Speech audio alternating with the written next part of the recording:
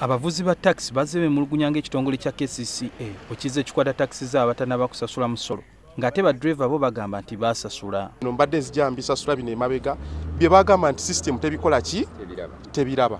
Naye nekinasasudde ekyomwezi guno emmotoka bagikutte bagiremedde kcca bino yabyegana netegeeza nga bwetasobola kukwata motoka y'omuntu yenna avuddeyo n'asasula ssente ze mu makubo amatuufu.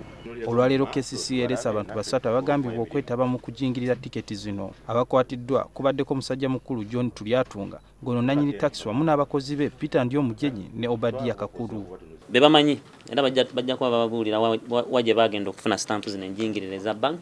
So tebasasula sente mu bank naye bale- baleete twafunye ebipapula nga byaffe wano naye nga stampu eziriko si za bank. Na- nabona omuntu aba- ayambadde uniform nga bwe ate bwobanga omulaba kati nga kugamba nti ayambadde gundi uniform nagamba nti if the line is big funayo kifunayo gweje nkuyambe nokwata sente nozimu oyagala first service. Ekitongole kya kcca kitegeezezza ng'abantu abalala bataano be bakumibwa ku poliisi ku musango gw'okujja lisiiti ku badriva ba takisi nga beeyita aba kcca ekitali kituufu. Bano okuli matovu siraj suna faruk kato dankani mwesigwa david ne namubiru rehema bakwatiddwa ne sitampu bitaano enjingiriro okuli eza buli banka na buli tendekero ekkulu mu ggwanga ssaako n'ekitongole kya ura bano bonna tukitegeddeko nga bagenda okukubibwa mu mbuga z'amateeka sohail mugabi ntv ku ssaawa emu